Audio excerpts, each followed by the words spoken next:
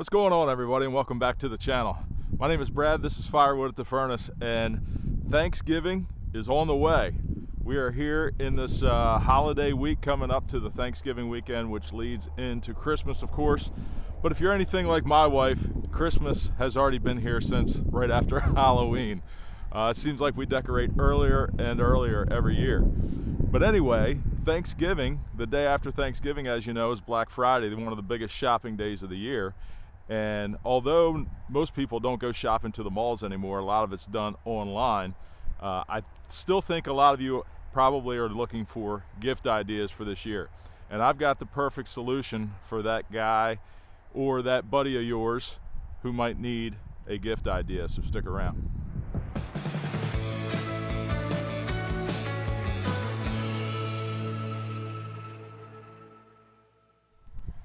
So I had a company reach out to me about a month or so ago uh, to see if I would be interested in testing or reviewing any of their power equipment.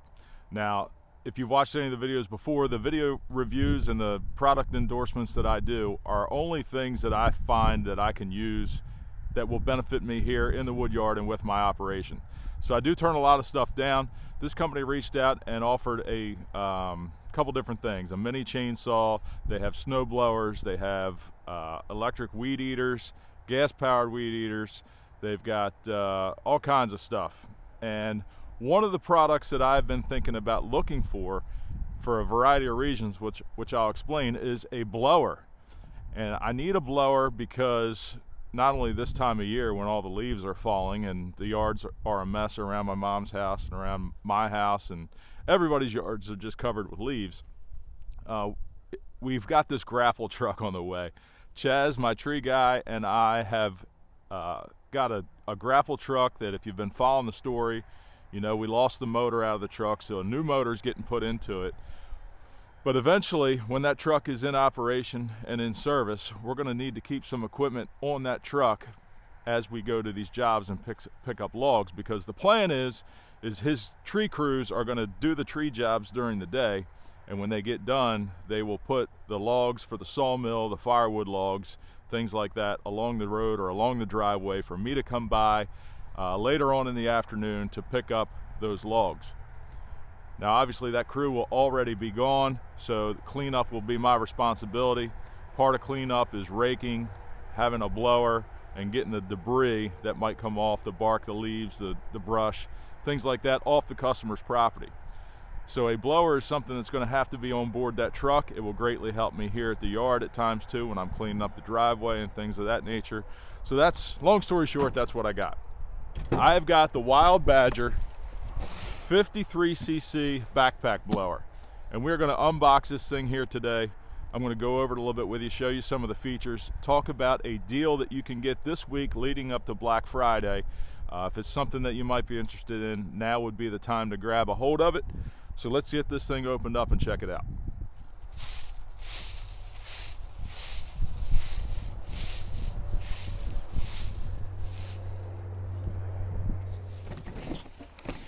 All right, so not only are these things good for just leaves, like you saw me tromping through there, uh, it's also good for uh, lights, uh, gravel, snow, any debris in your yard, uh, I've had a I've had a blower before, but I've never had a backpack blower of this capacity. I've had a, a smaller one, electric powered blowers, things like that. And they were good good for leaves, but normally don't have enough power to do much else. So I'm curious to see how this bad boy is going to work. Uh, comes with obviously the blower. It's got your flex tube here which will attach to the blower right off the motor here. And then your extension tubes which we'll see how they go together. Put those on. I see some hose clamps here which goes on the flex tube. And of course your instruction manual. So let's get this together. I'll uh, tell you what I what I think what I found out and we'll get this get some fuel in it and see how it does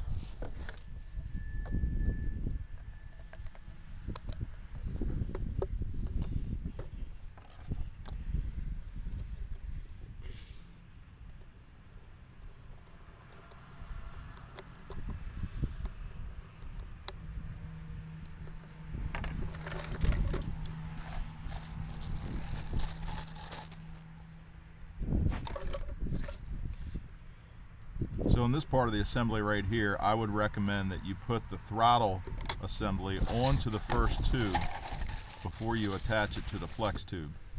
The reason for that is if you attach the tube to the flex tube first, you're going to have a tough time getting the throttle assembly over top of the tube. It's got a slight channel on it that the throttle assembly locks onto that tube.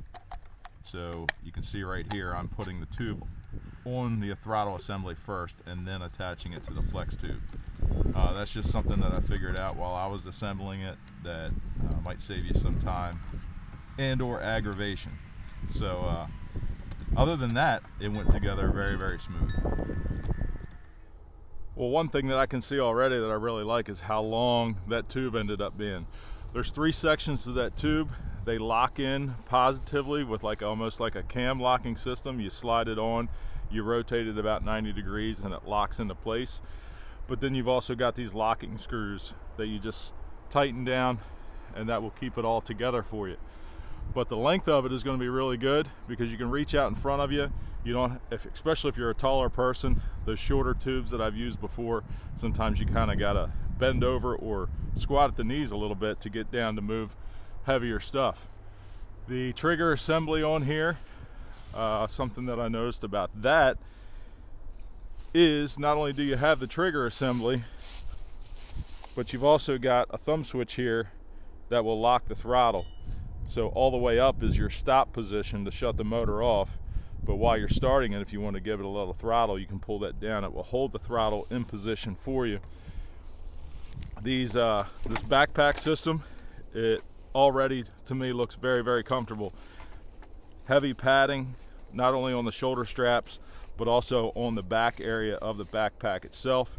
It's also got a waistband strap, and I know from personal experience, the waistband strap, although you may think you don't need something like this just for a backpack carrier, but if you're going to be using this for any length of time, uh, the proper way to use this waist strap is to allow the weight of the machine to sit on your hips.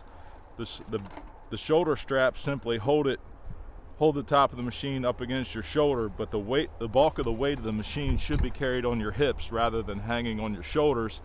And I know that from carrying uh, breathing apparatus through the fire department in my years of fire department that technology has developed because when I first started we didn't have the waist strap. It simply went over your shoulders and across your chest and your shoulders were killing you after a couple couple air packs going through with that weight hanging on you so use the weight strap and allow to, the weight of the machine to hang on your hips although the machine is not that heavy at all. It's a pretty lightweight machine, but as with anything else, if you do something long enough, eventually you're gonna have those pinch points or points where things start to hurt a little bit. So this machine runs on 50 to 1 ratio, so you can use the same fuel that you use in your saws with it. Uh, the fuel tank is right here on the bottom and it holds 31.1 ounces of fuel. So that will give you 50 to 60 minutes of solid run time there. So you can you can be running this for about an hour at a time before you need to stop for fuel.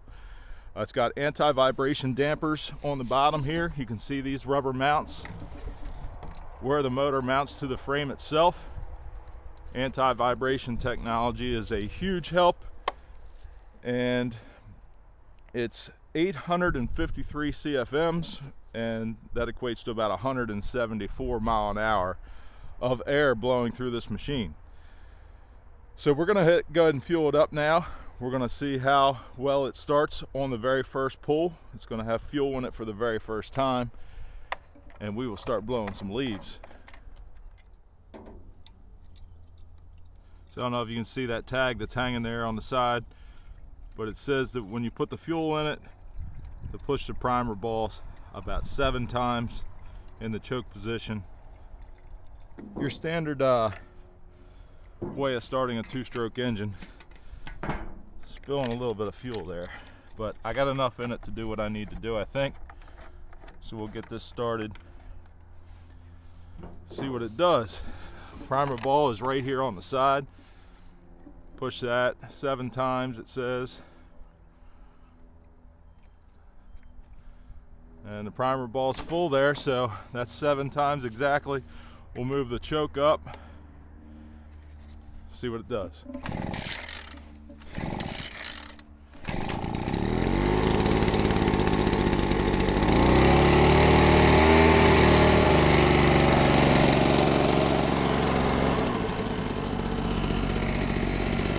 Right, just three pulls. One thing you want to make sure of is that you have the throttle set in the position where it's not on stop. So if that's in the stop position, you're obviously not going to be able to get it running. But only three pulls after the very first bit of fuel in it. It's pretty good. It's idling good. Let's put it on my back and see what it does.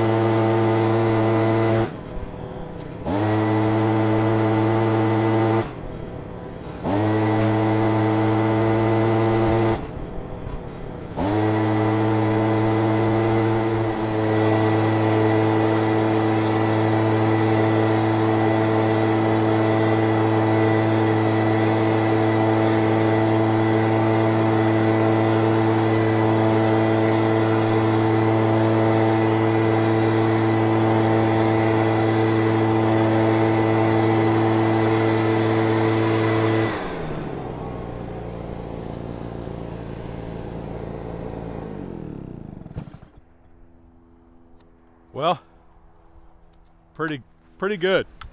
I got to tell you, it's lightweight. Didn't hurt my back. Probably ran it there for 20 minutes or so. Padding was really really good on the shoulders. Throttle was th throttle response was really good. I had no problems coming up off an idle, and when I let off the trigger, it went right back down to an idle. Never stumbled. Motor ran good.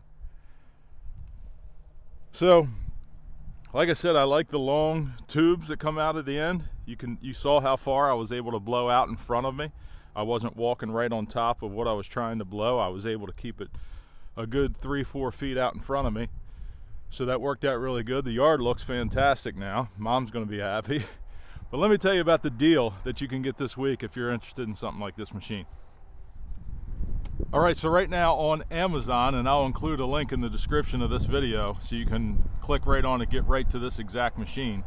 You can pick this up through Thanksgiving with the Black Friday deal uh, for $204.34. That's 15 percent less than the machine is normally uh, sells for. And if you compare this machine, the size of the motor, the size of the uh, CFMs, and the miles per hour that the air comes out the end of the tube.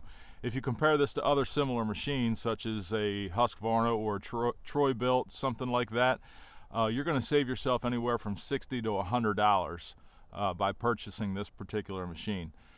Um, I think it, it worked really well. We will continue to use it. You're going to be seeing it on future videos once this grapple truck gets in service, like I said. I actually just saw a message from Chaz a few minutes ago uh, with an update on that. So I haven't looked at it yet, but hopefully it's good news. Uh, but that this will be a permanent fixture inside of that truck as part of the equipment that we use to help clean up those logs and clean up uh, tree jobs. So this is going to get its workout. We're going to put it through its paces and I will keep you updated on it. Uh, but like I said, the link for this is in the description of the video and you can get it on sale now uh, as a Black Friday deal. So happy Thanksgiving to everybody. Uh, tomorrow is the big day. Don't overdo it. uh, and give thanks to your family and friends. And I hope you all have a great week. We will see you next week three times because on next week we've got Wednesday's video, Thirsty Thursday the next day, and the first Friday of December is the very next day. So three days in a row, you're going to get a little bit of overload of firewood at the furnace. So take care, everybody, and we'll see you next week.